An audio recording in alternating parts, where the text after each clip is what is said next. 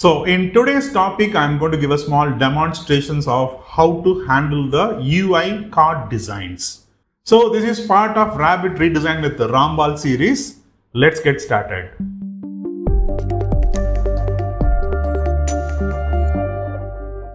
Hello all, I am Rambal from Aspira. Happy to see you again.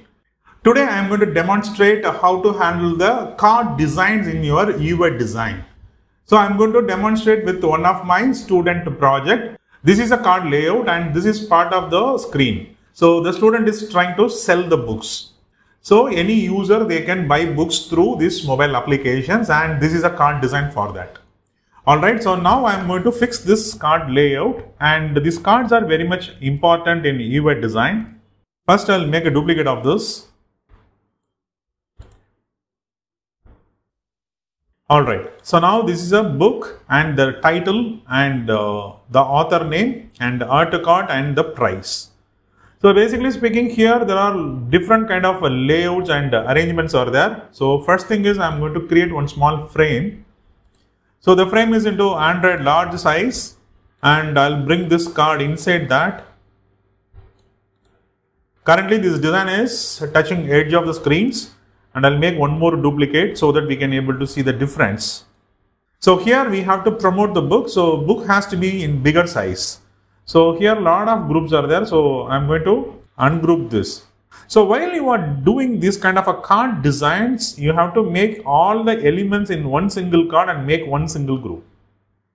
And here there is a one small functionality issues that is once we can add the item into the cart, then only we can able to see this remove button or delete or recycle bin or delete icon. So we don't want this element. So we can remove that from here. And here this is a size dimension. So it's about 358. I'll make it like 360. So now I have to give a margin for both sides.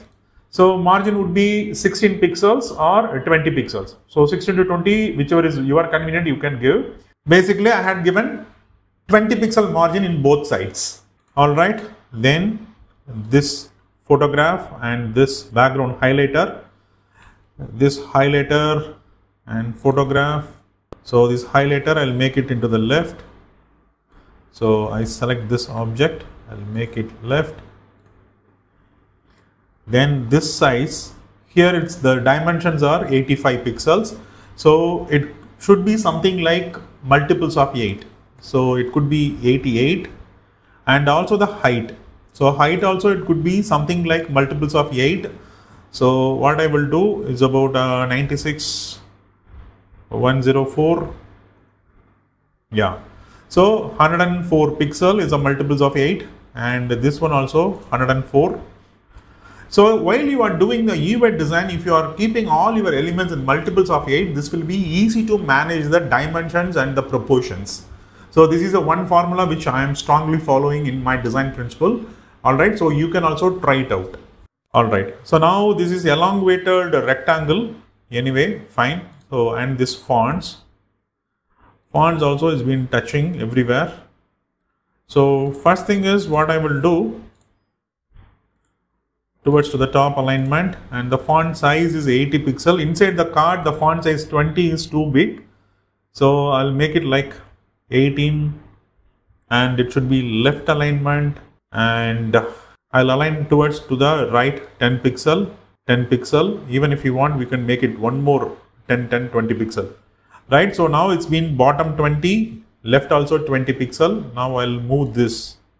Again if you are doing this kind of a text no need to have it done um, fixed size. You can just keep it as auto width mode. And uh, line height and the font size. Font size would be 13 and left alignment font line height would be 18 will be fine. And no need to have this letter spacing.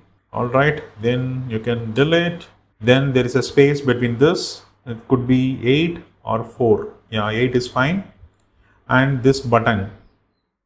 And the button size and corner radius. All right this also will make it like ungroup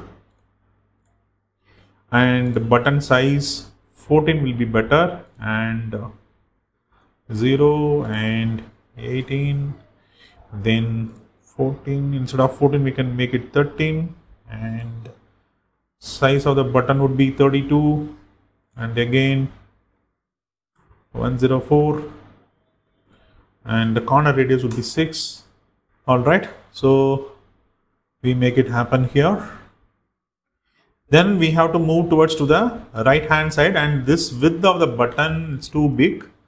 So 104 minus 8 96 all right. So now we are reducing this size. It would be 4 20 is not required. We can make it 10 10 it's enough. Or 16 16 or 12 12 12 so now i have to fix this price so price i'm going to make it like towards left align all right and right so now we fixed almost this fonts and the spacing everything we had fixed so now we are going to give one small work so now everything has been fixed over here. Now I am going to fix the hierarchy. So hierarchy in the sense, not only the font size. So if you are going to fix the visual hierarchy, it's not only the size of the font, it's the color of the font also is being part of the visual hierarchy. So now I am going to fix the color of the font as well. So currently I had fixed for the size of the font and this is a heading. So this is a heading. So I'll make it, this is a little medium and the size we'll keep it something like 16 and semi bold will be better then this one this one will make it 12 and color so color currently i'm using hsl mode so we can reduce the color towards to the saturation side all right so these are strongest color and these are lightest color and the space between this two zero and next one is our Pricing, pricing should be something like semi-bold, 14 semi-bold. Add to cart, we can keep it like, so I had given 16, 16 pixels gap over here. So you can check it out. So bottom 16, right also 16. So same aspect I have to give here as well. So, all right. And this one I'm going to fix and the color and the uh, alignment. So now I fix the alignment, then color. So color probably I can choose the same color and little brighter. Yeah. All right. So now I fixed all the stuff, even little bit darker, more warmer, and this font color. I'll use same aspect. I'm going to use this so a little darker. These two colors should be little darker. Yeah. All right. So I fixed everything now. And uh, the next one, the background, the card background. Uh, I had given the color in the background. That is the entire frame. I had given the color. And I prefer to have this kind of a cards in a white color so now this is almost close to white, but this is not white. So this is almost look like a white, but this is not white. So always I prefer to have my card color. So that is this background color should be in white color. Increase the contrast of the font and uh, user can easily read the text. And this one also has to be fixed. So only the left hand side top and left hand side bottom then that's it so now i'm going to keep this book inside and uh, the height so it should be proportionately all right and so here we are selling the book not this two uh, this color. This color is too heavy. So i'll make that color into this background color should be in little but this has to be fixed. All right. That's it. So even yeah. All right, so now I fixed my cards and this is one style of card. And I don't want this, I'll move it towards to the left. All right, so now if I want, I can give one small mild shadow effects. And while applying the shadow, it should be smooth and soft. So it should not be very harsh. All right, so now my card is ready and uh, I'll make this as a group. And if I'm going to use this in my screen, what will happen? This will be look very nice. So this is a list card.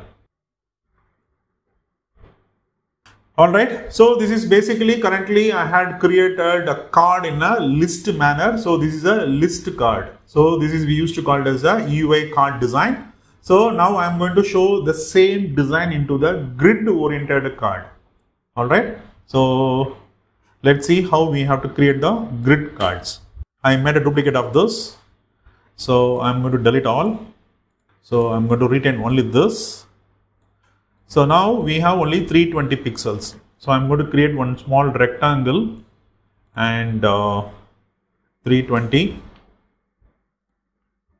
Alright, so left and right I had given 20 pixel margin. Now I have to create the grid. Grid basically we can able to add only two grids over here. So divided by 2. So this is going to be my grid card size. But what will happen? There is a space between the grid also is required right? So space between the cards also is being required. So that also has to be in 20 pixel. If you want 20 pixel then you can minus 10 suppose if you want very less space in between the grid then you can give your 5 or 6 pixels. So i am giving 6 pixels. All right? So grid is nothing but this is a portrait mode of uh, design. Right? So this is a landscape mode of design. So this is a portrait style of design so I made a duplicate of this, then towards to the right, then 20 pixel. So now we have a gap in between. So if you feel this is sufficient, then you can do this gap or if you want more, then you can reduce as well. So you can reduce the grid's uh, card size 150.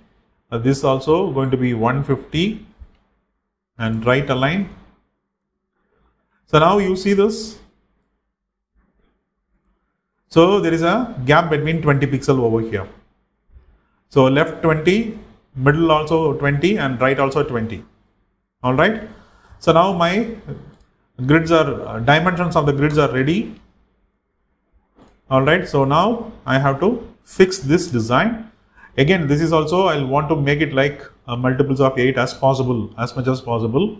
200 now this one. I'll ungroup.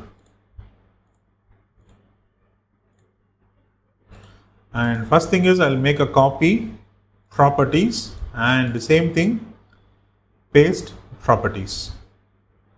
So now I'll move these elements over here. All right. So now in this section Tempest, book by William Shakespeare, and this price. So from left, 10 pixel gap and towards to the top. And uh, in this scenario, what we can do, we'll transform this auto width to auto height. And we can reduce the size. So automatically this will goes to the two lines and the line height would be 16 pixel and the price we can retain same. Alright, so now we fixed everything. So this height is not sufficient seems to be. So I'll make it like 240 and I select all the objects and move towards to the bottom Alright, so now we have this space for uh, showcasing the book. Alright, so now I am taking this and this one also width would be 150 and height same we can leave it as it is. And here top left is okay not the bottom left. So this one again we need to fix the space. All right so now i can take this book I'm going to keep it here. Alright, so this is another set of card. Alright, so if you want we can tweak this in further. So the book title would be around 14 pixel is enough and this William Shakespeare would be 11 pixel is enough and uh, not required to have book by William. So we'll keep it only William Shakespeare so everyone will understand and we can have our price So price we can keep it as it is or we can reduce one size font. Alright and button size. This button what we have to do it's about 154 minus 20. So that is easy to click this button. Alright. So now we can move towards the bottom. Alright. So now we fixed everything and book cover image also if you want you can make it a little bigger. That's it. So now we fix the cover and the book and uh, this is one style and this is one more style. So I'll make a group of this. So once I complete my card then only I have to create the group. So now I'm going to give a 20 pixel margin in the left and also 20 pixel margin on the right. So now I'll make a duplicate of those again 20 pixel. Now you have one more duplicate. Alright, so later you can change the cover image and the title and the author name, everything you can change and you can fix this. So this is a card design. So in this design, we are transform this design. So we are transform this design into the same list based model cards same thing we are transform into grid based cards. So alright, so now you have an idea so how to transform your normal card design into the beautiful card designs either in a list or grid manner. If you have any queries, you can leave your queries on the comment sections. So I hope you like this topic and uh, I will catch you soon with another interesting topic. Until then, bye-bye.